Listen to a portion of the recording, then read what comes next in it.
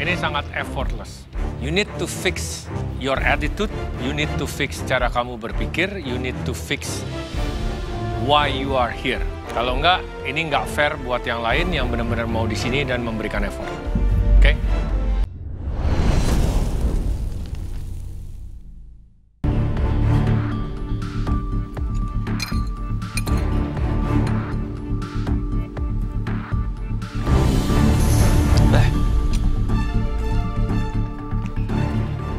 Buset, kenapa dilepeh? What happened? Apa yang digigit? Kapulaga. Berani habis kamu beri. Sampai kapulaga aja di serve buat Chef Arnold. Kemarin guys, sekarang kapulaga. Ini bukan ngeles ya, tapi ada kapulaga segede itu, ya kenapa juga diemot, Chef? Salah sendiri kan? Aduh, kapulaga kan kalau dimakan gak enak banget ya. Harusnya mah diteliti dulu gitu, diambil sebelum dimasukin. Buru-buru teing sih. Oke.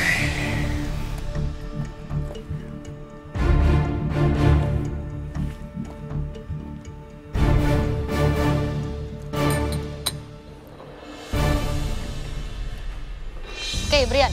Ya, Chef. Eh, in general ini puyuh bakarnya ini enak, Thank really good. Bumbunya ini gurih. Di sini cuma in terms of secara hidangan di satu bakul, ini masih terlihat centerpiece fokusnya itu di puyuh, sisanya itu agak ya udah gitu. Kamu ada tumis sayur sama nasinya teksturnya sedikit kurang. Oke, Chef. Iya, dia belum fluffy, masih sedikit lagi. Ya, udah dibahas sama Chef Renata ya. Em, bumbu halus, kalau misalnya kamu bikin pakai rempah-rempah boleh. Ya, ada dihalusin banget. Atau kalau pakai utuh seperti tadi itu kalian minggirin. Supaya benar-benar kita makan tadi supaya saya nggak kena eh, jebakan Batman lagi. Iya, Chef. Ya, Menurut aku itu lumayan fatal banget sih kalau sampai ada kapulaga di makanannya. Karena kan itu nggak enak banget pas dicobain. acar bisa lebih halus, eh, lebih strong rasanya, lebih acidity, garam dan juga mungkin tambahin bawang to make it more savory. Iya, Chef. Oke, eh, di sini sebenarnya puyuhnya enak. You, Tapi kamu harus hati-hati. Bumbu baluran kamu, bumbunya itu sedikit terlalu manis. Oh, iya, Chef. Ya, karena puyuhnya itu medianya kan kecil. Ya, tidak banyak. Ditambah lagi nasi kamu adalah nasi santan. Ya, jadi ini a little bit heavy, very sweet.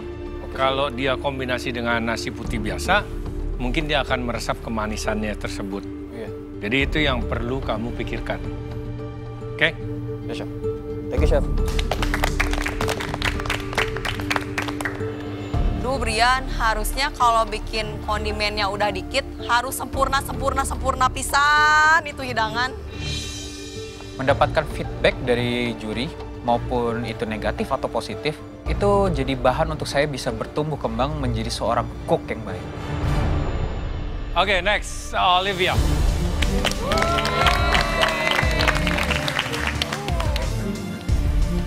Challenge satu dipanggil maju. Wah, pasti ini bukan gara-gara bagus nih.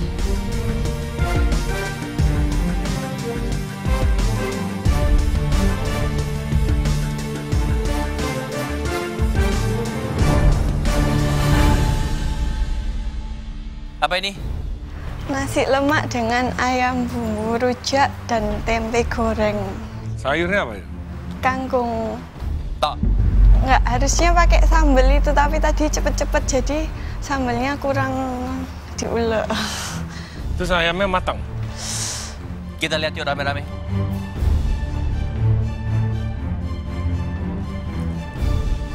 Loh,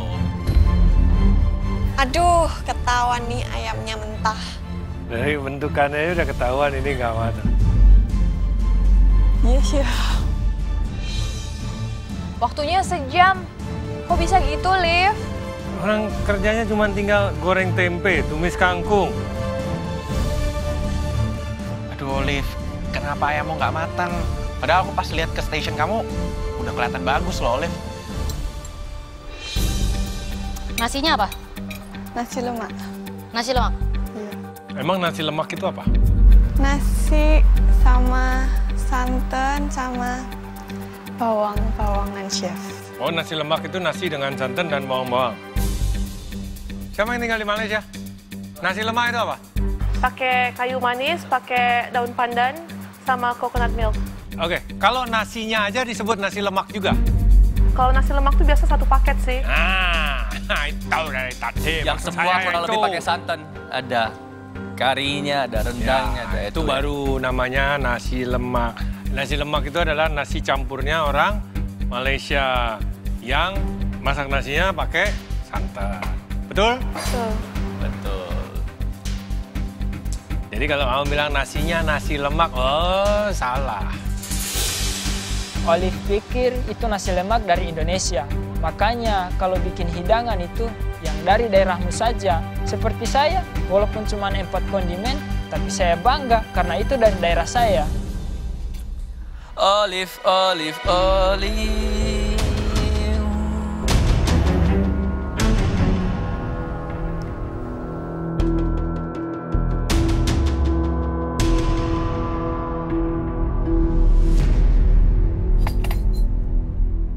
Oke, Alif, I'm out of words. Saya nggak bisa berkata-kata lagi. Ini selain menyedihkan, ini memalukan.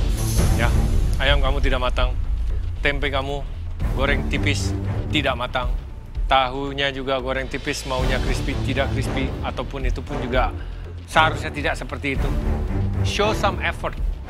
Show kalau kamu mau di sini, show kalau kamu memang kompetisi ini adalah hal yang penting buat kamu, bukan sekedar mau kabur dari rumah. Oke? Karena ini sangat effortless.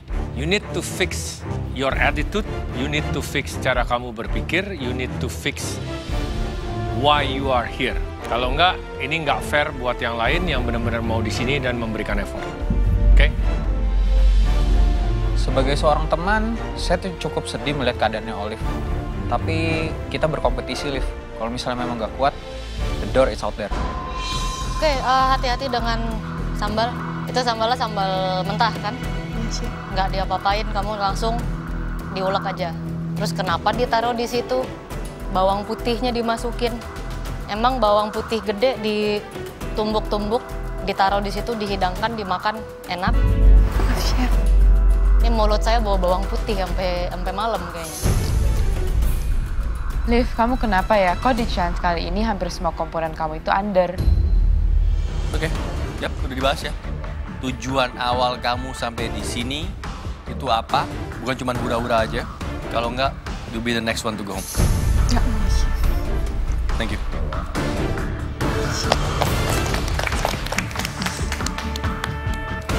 Mendengar hasil komentar dari juri, aku super kecewa sama diri aku sendiri karena masa kayak gitu aja nggak mateng.